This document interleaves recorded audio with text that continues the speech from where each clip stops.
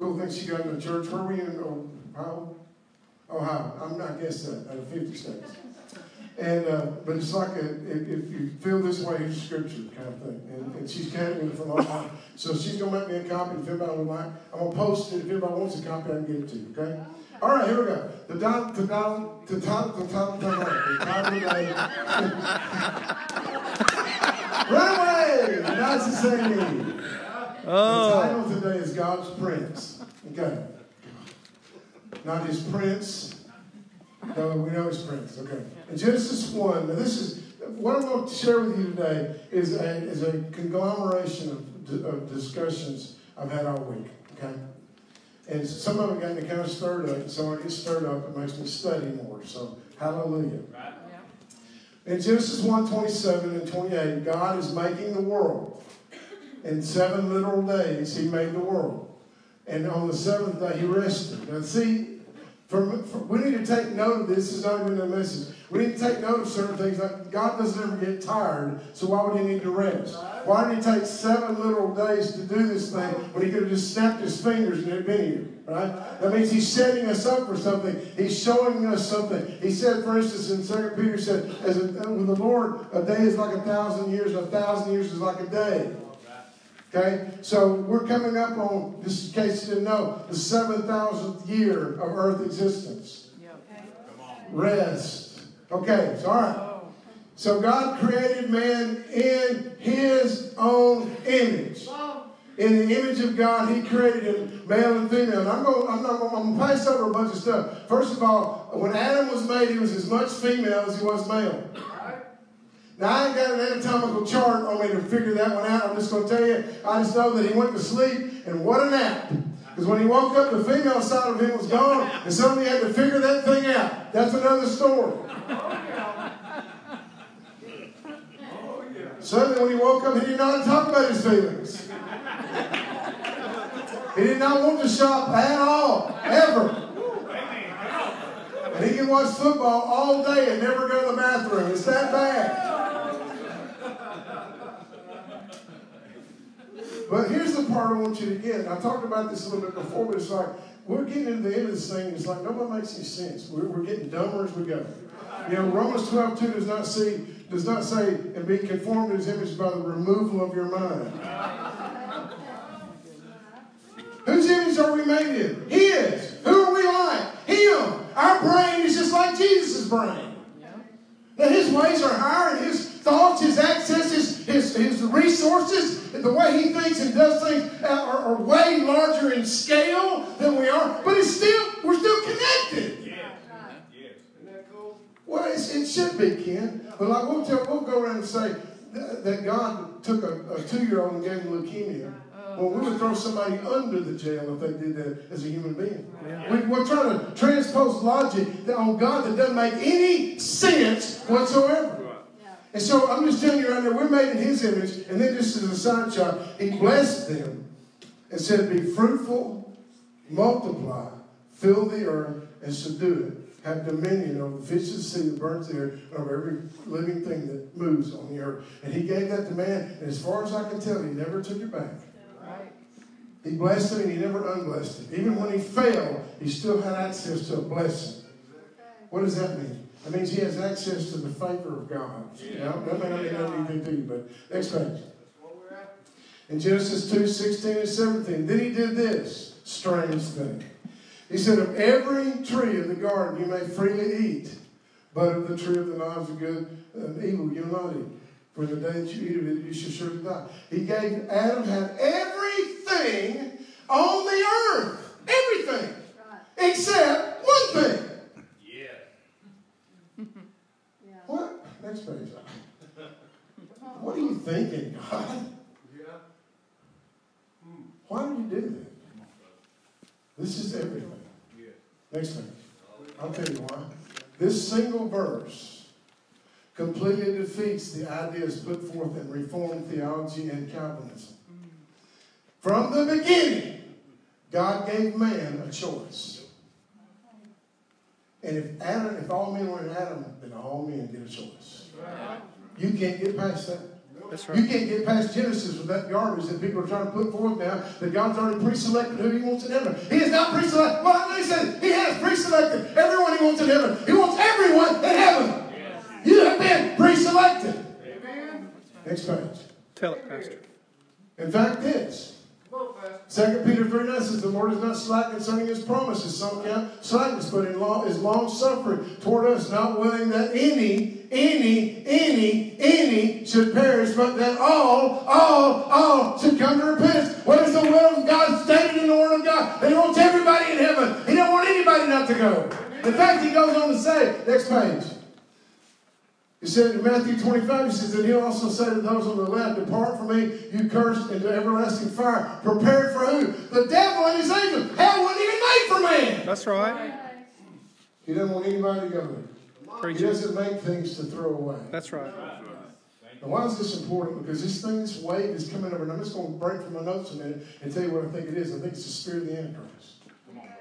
That's what it is. What is the spirit of the Antichrist? It, it, it, does not declare that Jesus has come in the flesh. Right. Why did Jesus come in the flesh? If he didn't come in the flesh, none of us could get to him. He had to become us so we could become him. If he came in this flesh, he had to come in all flesh. He was the last Adam. He was the one that undid what the first one messed up.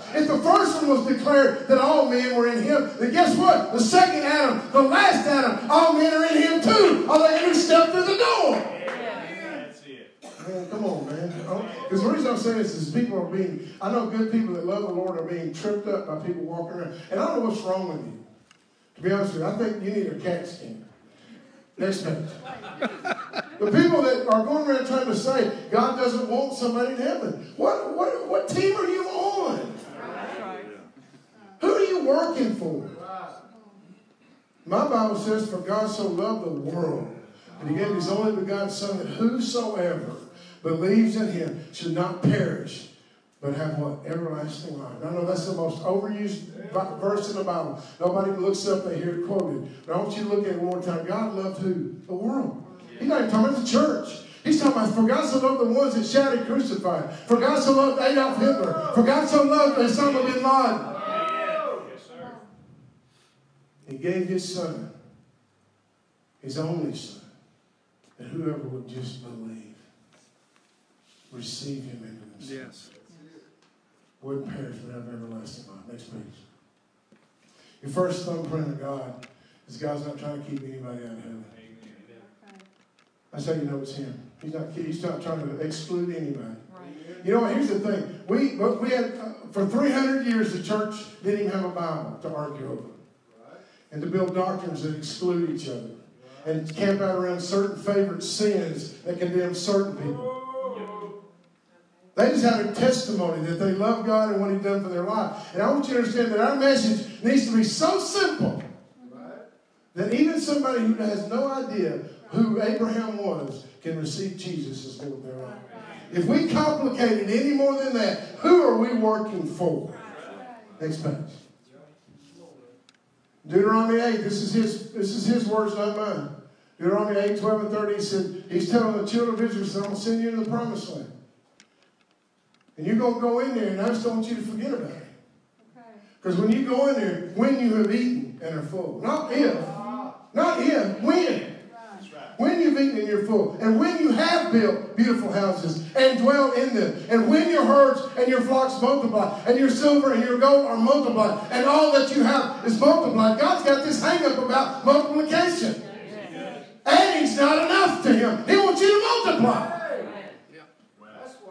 You know, two plus three is five, two times three is six. I like multiplication better. Is that too fast for you? I flashcards on the website. I mean, don't pull your phone out on them.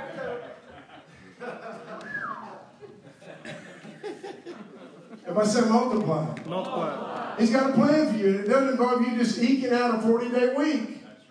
40 hour week. It, it doesn't have you eking out a living and trying to rob Peter to pay Paul. He's got a plan for you, just like Pastor Judy was saying. Maybe we haven't tapped into his excess. Maybe we haven't tapped into his abundance so we can lavish and go, no, so we can just get out of this hole we're in. It's like, you know, like refrigerators that tear These are things that are distractions. Things that I want to be able to get past them. How about you? Right? right? Okay. Next page.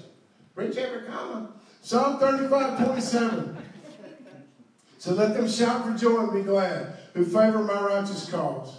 And let them say continually, Let the Lord be magnified. He has pleasure in the prosperity of his servants.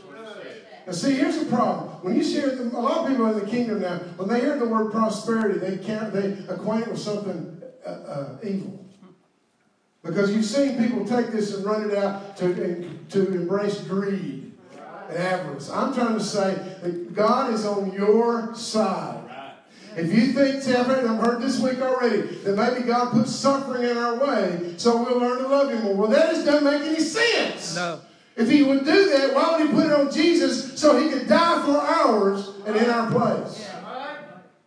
I'm trying to tell you guys on your side. He, his, what pleasures him, what makes him the happiest is when you get it. And let me bring, can I take this back to the human level? And you know, I'm, I'm not sitting there going, strike out, Logan, strike out, Logan. Maybe you'll learn humility. Right. That, mean, you, you'd think I need some sort of seizure medication. No, I'm pulling for my son. Hit, hit, the, hit the tumble. Do well on this tour. I'm pulling for my children because I want my kids to succeed. I want good things to happen to my children. Well, why on earth would we think if we're that good and God's this good that He'd be any different with His kids? That's good, Pastor. I just, I'm just saying, if I didn't have a Bible, I should know that, right? Yeah. I should know that. Next page. Third John 2, he said, Beloved, I pray, I wish that you may prosper in all things and be in health, just as your soul prospers.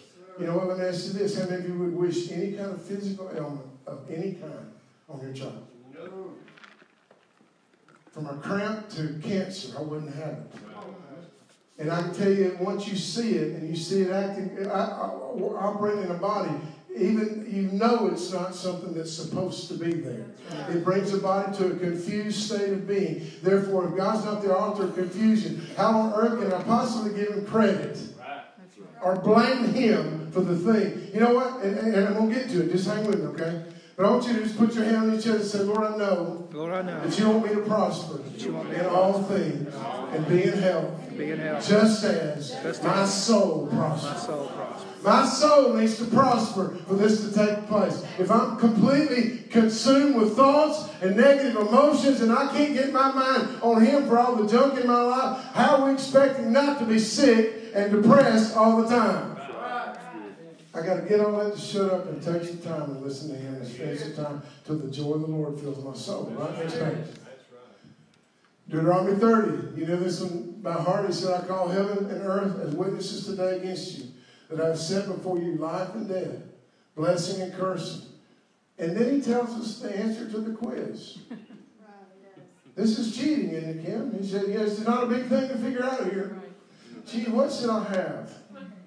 Blessing or cursing? I don't know, you know. Choose life. Think I'll go with life there.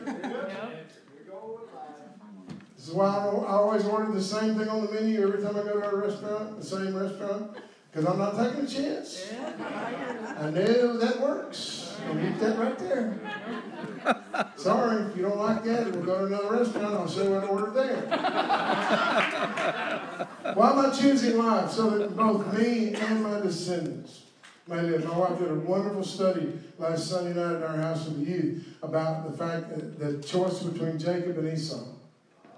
And how, if you'll look at how, how simple it looked that Esau wanted that bowl of porridge, wanted that bowl of stew more than he wanted his birthright. Because in that moment, when he's so, uh, uh, his flesh is clamoring and clawing at him to, to need that bowl of stew, in that moment, his eternity doesn't matter. And that's how it is with things in the flesh. But what's bad about that is that he gave him the stew and he gave him his birthright. And from there on, where it read, the God of Abraham, Isaac, and Jacob. It should have said Isaac, Abraham, Isaac, and Esau. But he lost his, he lost his history. He lost his place in history because his flesh made the choice and not him. Next page. John 10 10, you know this about heart, so the thief does not come except to steal, to kill, and to destroy. May I say to you again that I've discovered in my lifetime that the thief is not the devil per se, it's religion.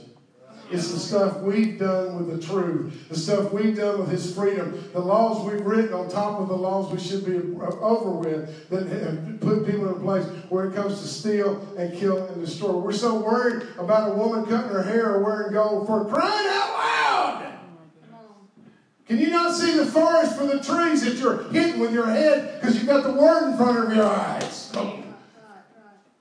I'm saying that we need to think a little further on about what he was talking about and realize he's not so hung up on the things that we have let ourselves get hung up on. Like, for instance, you know, people that are like that, they don't want to talk about the fact that they're wearing a piece of clothing that's made of two different materials. That's right. That's right. That's you don't get all I mean, let's just go law, okay? Yeah. I'm saying that the thing that we should do, I asked somebody the other day, and I'll say it again, if you could condense the Bible down to one word. In other words, that you're going to take that, that Bible and you're going to give everybody one message about God to identify Him. What would be the title of that book? It has to be love. Can't be judgment, can't be sin, because that's what it's about. It's a love letter, it's a love story. The whole thing was a love song written to humanity so that He could gather us back because we had been scattered from Him. Yes. Anything that gets in the way of that is a waste of time.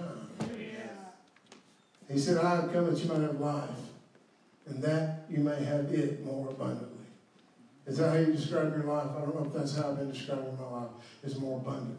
I think I've been drawing in a breath. We watched a, we watching somebody go meet Jesus the other night. And I saw as that breathing slowed down, it just kept slowing down. I thought, you know what? That breath is what keeps us here.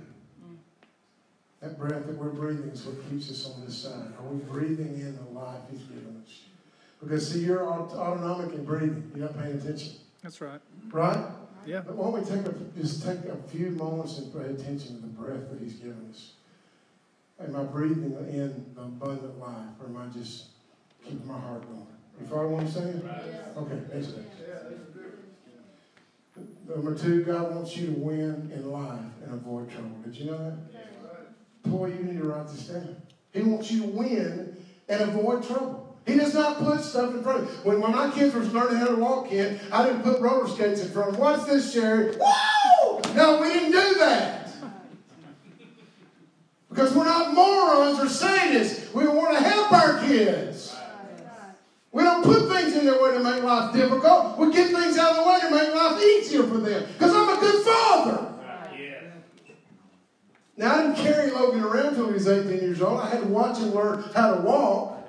And some of that involved him falling down. But what would I do? Stand there and say, now, if you don't do better next time, no, I'll help him up. Yes. But see, there are people that believe God's that way, Ken. They believe that, well, that's what he's, he's trying to trip you as you go in the path, and, and he's, you know, he's, he's your biggest enemy. And I'm thinking, no, he's not. Lord, he's not. And that's just for me. Next page. Hebrews 11, 6, it says, but without faith it is impossible to please him.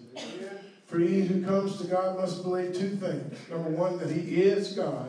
And, in other words, as much as you believe he is God, you have to believe he's a rewarder.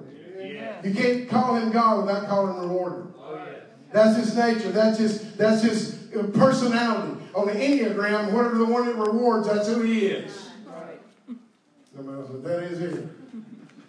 He's a reward of those that diligently seek him. Some of you are missing your reward because you're not looking for him. Okay, next page. I go somewhere else. Ephesians 3.20 says, Down to him is able to do exceedingly, abundantly, above all that we ask or think, according to the power that works in us, according to the power that's active in us. You know, Kent's got this big pedal board back here. But until he pushes the button and the little light comes on, the pedal board is passive. It's not adding anything to it. In other words, a signal comes in, a signal goes out. But when he pushes his foot down and the light comes on, the pedal adds something to the signal. That's called being active. And he says here, the power that works in us, works literally means active. That means the power that you receive, the knowledge you receive, the revelation you receive. When I put myself in conjunction with it, now power is available to me. Next page. Or what man is there among you who, if his son asks for bread, will give him a rock? Watch this. It's so funny. Puts the tartar sauce on that rock and he breaks his teeth it.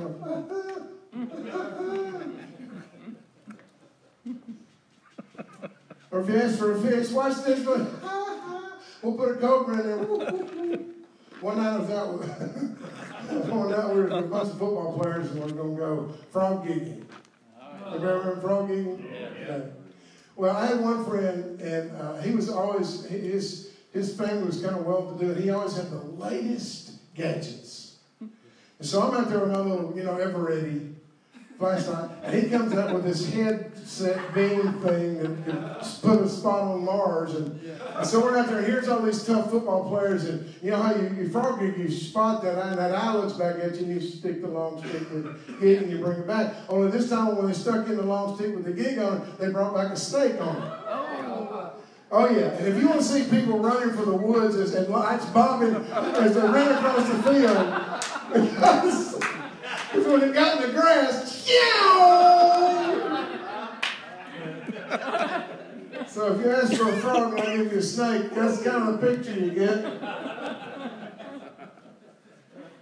I got to tell this story too. You? So later that same night, this has nothing to do with this. Some guys got there late and we're camping out at my, my dad's house. And uh, they said, Charley, what? I don't know why they always came to me. We found this dead snake on the road, and we want to put it in this guy's sleeping bag. I said, no, no. But then I said, okay, just put it up on the head.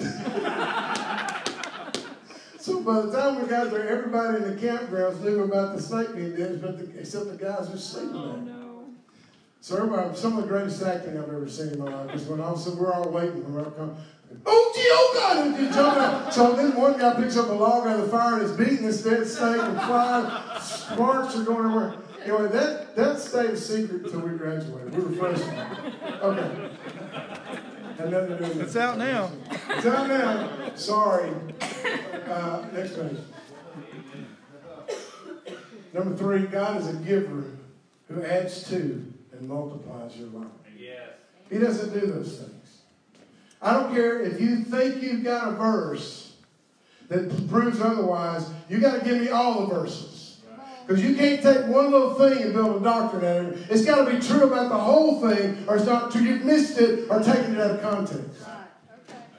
For instance, it's like those, you know, those spikes when you go into a parking lot that you can't back up over. That's God. He may always do more. He can always do more. He'll never do less. Amen. Next page. Well, okay, so this is the warm, fuzzy puppies and rainbow sermon. Woo! Well, okay. This got my attention the other day. I just to with we'll go. You know, Paul's on that, that ship and he's a prisoner.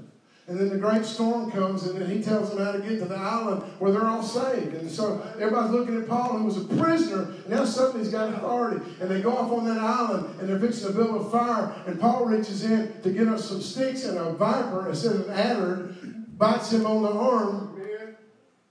And he's got it hanging on his arm, and he goes to the fire, and all the people that are on the boat go, wow, he's really cursed.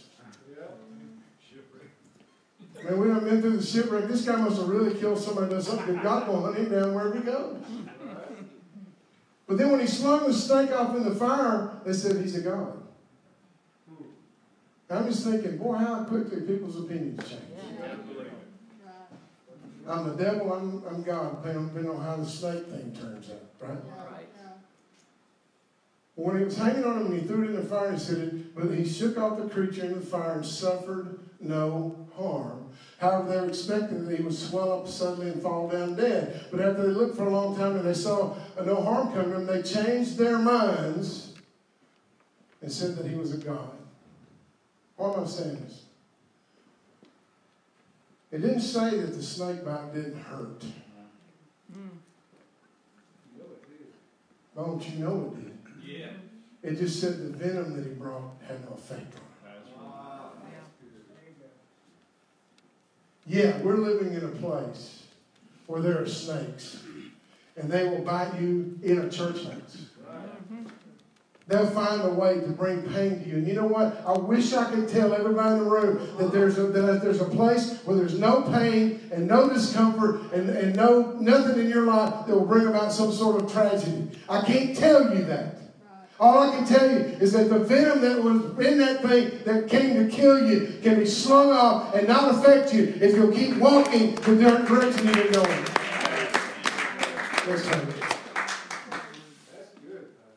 He told them in John, said, These things I've spoken to you, that in me you'll have peace. In the world, you'll have tribulation. He didn't even say you might have tribulation. He said, In the world, you don't have tribulation. But be of good cheer. I've overcome the world. That means when it does bite, when it does hurt, when you don't think you're going to make it, hang on because he has already overcome whatever was in that snake and he's going to bring you through it. Yes, Next page. Now I want to show you a little example. In Psalm 91, it says, verse number 7 says, A thousand may fall at your side, and 10,000 at your right hand, but it shall not come near you. Who's he talking to? He's talking to me. I don't know if he's talking to you. You got to decide if he's talking to you. Because what he's saying is that, that something can happen, that there'll be 11,000 dead people standing, laying on the ground around you, and you're the only one that made it because you have a secret place with the Most High God. You have called His name. You have whispered His name in the night. He is your habitation. He is your sacred, safe place. I don't know what you believe, but I know in whom I have believed. Let me give you an example. This next page. This is 11,000 zeros. You see yourself there in the middle? It's hard to tell. Then click it one more time. See, there you were. But see, so let me break it down to just a thousand. Just that, that thousand. Wow. You're still in the middle of that. Wow.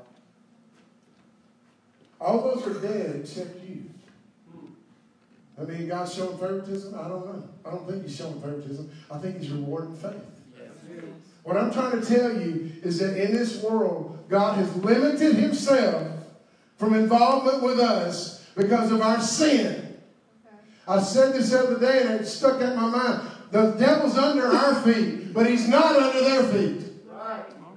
He's in charge of them. He's their God. He's their Lord. He's their master. They belong to him until we bring them back. Then that's, that sin will kill them the second God splits through the sky and reaches earth. So he sent us here as ambassadors, filled with his spirit, filled with his word, to go through these snakes and some of them are going to bite us, and some of them are going to hurt us. Some people die.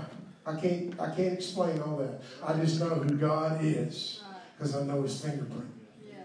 Next page.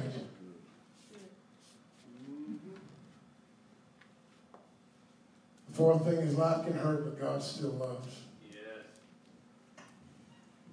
And it's not His fault, and it's not His design. It's just that's how it is. It's taken me 36 years to come to the realization that God is not my magic carpet or my Aladdin's lamp. He's my ever present help in time of need. I'm going through a lost, fallen world. Satan hates me. Can't wait to get rid of him when I'm already dead. So the thing he could possibly do to me that would bother me has already been taken care of. I died once to myself to sin, and now I'm risen again in him in Christ Jesus. Amen. Next page. Almost done. This is it. Okay. Well, let's pray together and I'll send you home. Good word, Pastor. I wrestled the devil for it. I hope it was worth it for you. now, here's the thing. I just, it angers me so much because well, uh, right after I got saved, And then I got married. About five years later, Sherry, I came home from work one day and she's holding me this, holding up this Pez dispenser. and, there, and there's balloons, and, and I'm like going, well, well, what's that? And I thought I had missed an anniversary or something. She's trying to tell me she's pregnant. And I, I literally fell backwards over the piano bench and hit the ground. I was so stunned. But from the moment, from the moment I knew she was pregnant, every night I would, I would talk to her belly. We didn't, we chose not to know the sex of the child till birth. We just wanted want to be a surprise. And every night I'd pray over that belly and speak to that belly. And, and as she got bigger, as, as the baby got bigger, and I feel that knee moving across there, that elbow, and I felt the life in there. I didn't know what I was going to be, but I knew one thing. I wanted to be a good dad. I wanted to be everything I could possibly be that maybe I felt like I didn't get for them. And it was funny, when Taylor was born, she was crying her head off, and I said, Hey, girl.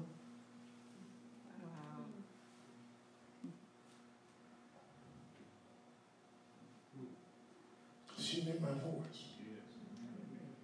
She knew her daddy's voice. And this morning, I want you to know that there's a God that loves you greater than I could even possibly love my children. And I can't fathom that because you know, I love my wife, but I, in our, before we had children, I could probably tell you that I love my wife because she, the way she made me feel, because I was so selfish and so all about me. But when those kids came along, I finally realized, now here's something that I would gladly give my life in the place of. Because it takes something out of you. And so what I want you to understand is, is that if you've been laboring under some delusion that God's mad at you, or disappointed in you, or waiting on you to do something for Him to love you, or He's put bad things in your way to punish you. If He's anything but that loving Father calling your name to get your attention, then you, you've been fed some wrong information. We live in a world that's full of bad things. He's trying to get to us. He hates the bad things worse than we hate the bad things. And he's not up there like some puppet master watching you suffer and getting some sort of enjoyment out of it. We just haven't figured it out yet. But we're going to get there. All things will work together. It'll, it'll work out if you'll hang on to him. He's the vine that you swing from one tree to the next. And so I just want you to bow your heads and close your eyes just for a second. I'm not going to bring you in the front. I'm not going to embarrass you in any kind of way, but I want to break something. I want to break a generational curse. I want to break a, a, a thought process in you that you're living perpetually under some sort of guilt or condemnation, or I'm just never good enough, or I'm not going to try because there's no way I can ever get there. I want you to know that your Father loves you so much that he'd give himself up just to have you. If anybody in this room would just like to wave at me real quick and say, I want to be free, yes, ma'am. I want, I want this broken off of me today. I don't want another day of walking around feeling like I'm less than, unworthy, not good enough, not a good enough Christian, not a good enough husband, not a good enough wife, not a good enough son, not a good enough daughter. Not a good enough mother, not a good enough father. I want to walk out here knowing I've been blessed and He's never taken it away. And I'm going to walk out here and multiply. I'm going to fill the earth. I'm going to subdue and conquer. Because that's what Jesus gave me with His life. Anybody else, real quickly, your hand. Say, I just want a new start today. I want to have that peace that passes understanding. Anybody else? Yes, sir. Anybody else? Yes, ma'am. All over the place. Yes, yes, yes, yes, yes. Yes, yes, yes, yes. Thank you, Jesus. Well, I'll tell you what I'm going to do. If anybody wants to come to the altar, I'm not going to ask you why you came. To play this song for just a minute. Let you have a little moment if you want to with God. Come lay down at his feet if you wish. And we'll dismiss in a minute.